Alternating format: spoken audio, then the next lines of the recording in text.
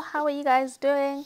Today I'll be showing you how to make very easy, very delicious, fluffy, gluten-free vegan pancakes. Um, and to make them gluten-free, I just used oat flour instead of the conventional whole wheat flour, cake flour that we would use. And I made that by blending it up. And I'm going to show you how to do that here, just in case you don't quite understand what I mean by that. I put in way more um, oats than I actually needed just so that I wouldn't have to do this again when I needed it for later. So the great thing about this is you can make it in a batch for yourself by buying oats, then blending up the oats and then using that and voila, you have oat flour, gluten-free flour. And I just blended that up until it was fine. I put it on to liquefy to make it more finer and also blending it longer will help just in case you might not have that setting. And if you don't have a blender, it's okay. You don't have to make them gluten-free. Um, well, if you don't have celiac disease, um, you can just use oats on their own. I just think making it finer helps it to be fluffier and not as like dense as oats would otherwise make them if they're not as fine as I'm making them now.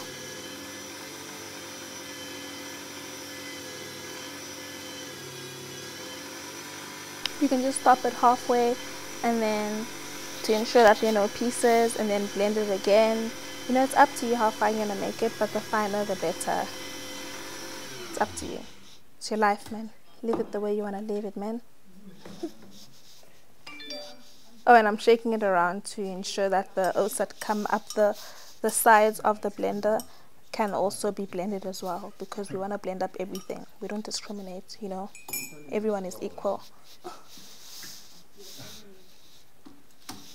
and that's how it looks the final product nice and floury next I used two bananas for this but I didn't use the whole two bananas. I used about one and a half and I say a half in inverted commas it's not really a half it's more like one and two thirds. Um, depending on how sweet you want them to be. These bananas are not that sweet, but they will do. As you can see, the mashing was not that easy because they were not as ripe as I'd like them to be. But I was really craving um, banana pancakes that day, so I decided to use up the bananas. And I just smashed them with a fork, like so. Mash, mash, mash, mash, mash, mash, mash, mash. After that, I added three quarter cups of oat flour that we blended and I mixed that in a little bit just to honestly I didn't have to mix it in first. I could have just added everything else but it's fine.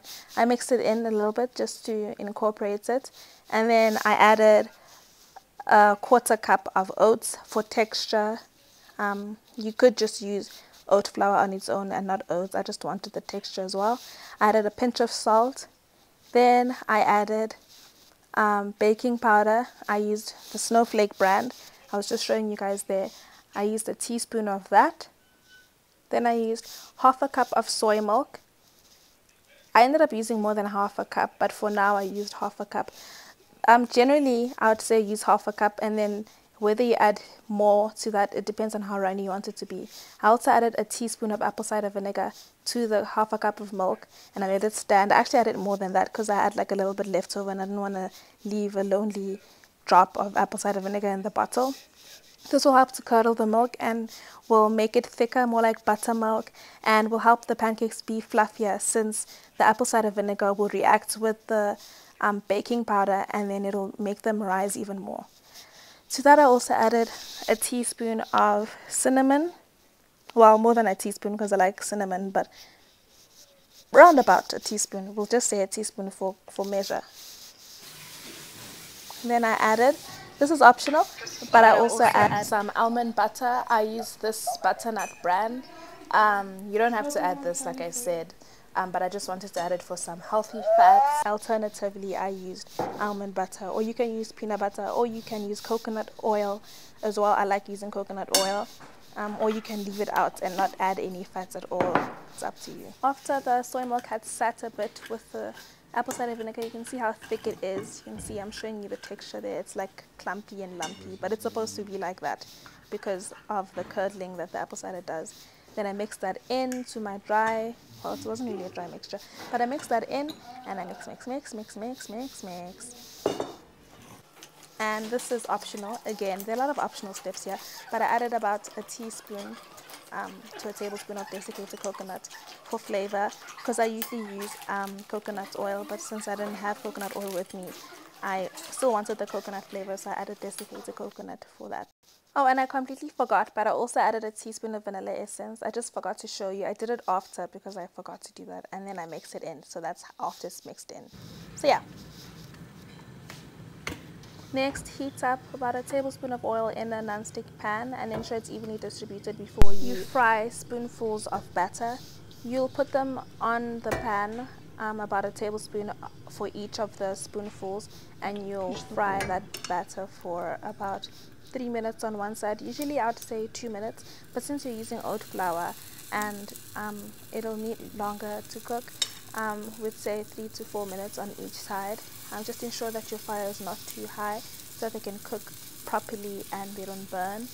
And then you wait until the batter starts to make holes.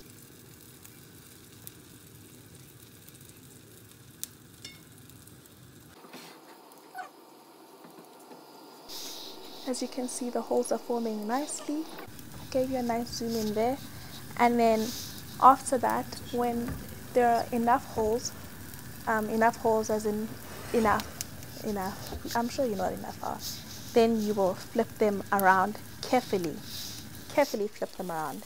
And they should pop up and be amazing. I said carefully but this is why I say carefully. See this was not carefully. That's not what you should do. I was just showing you guys what you shouldn't do. Um, yeah, so that's still a bird. No. And you just cook them on the other side for another two to three minutes. This always happens. It's your first one, um, or rather, it's part of the first group of um, pancakes that I'm making, or flapjacks rather, that I'm making. So I expected this, really, I did. Another pro tip is if you've made too much batter and you're not going to finish the pancakes or you're not making for a lot of people and you don't want to have to freeze them or whatever, you could um, put this in the fridge. Just ensure it's tightly um, closed in an airtight container or with cling wrap or something. Just ensure it's covered and then you can use this. It keeps in the fridge for about two to three days so you can keep it in the fridge and then use it up later on when you feel like having wonderful, delicious banana gluten free flapjacks again. And ah, the joys of making pancakes. Even if the first one is messed up, it doesn't mean you can't eat it, even if it looks funny. It's not about the outside, guys, it's about the inside. And then you're basically just going to repeat this process over and over, um, ensuring that each time you remove your next batch, you ensure that your pan isn't too dry and is a little bit greased before you put on your next batch so that it doesn't stick to the pan. Oh wow, look at that hole it already formed. You see the apple cider vinegar is really working well with the baking powder that makes it cook faster as well because it forms the bubbles faster than it otherwise would with oat flour compared to whole wheat um, cake flour.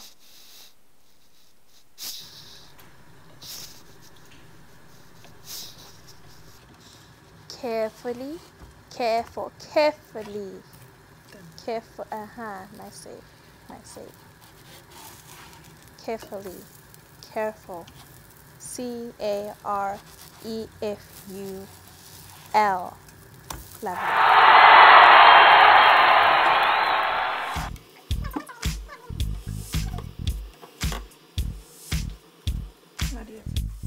And finally, we got to serve. I had the third of the banana, remember the third?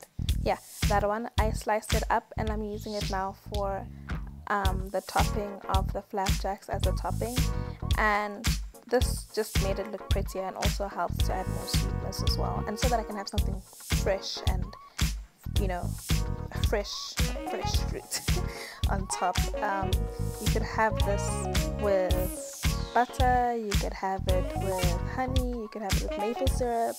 Um, for those of you that eat honey or the things that I'm mentioning you could also make your own um, syrup if you want. That's a lot of admin, so I didn't do that. I really enjoyed them like this. And you could also have them with jam. We had strawberry jam um, that I ended up eating some of them with later on. I didn't finish this whole stack because this was a lot and it was very filling. It was very filling.